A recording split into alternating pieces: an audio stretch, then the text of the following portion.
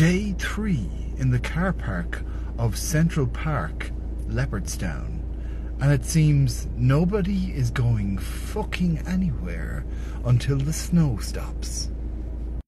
Expert meteorologists have said that there will be some sleet or snow, which has prompted the entire country to down tools and stop their cars in the middle of the fucking road! Officials from AA Roadwatch, when pressed on the matter, have come out with a statement saying it shouldn't even be slowing anyone up. It's just wet. It's not even sticking.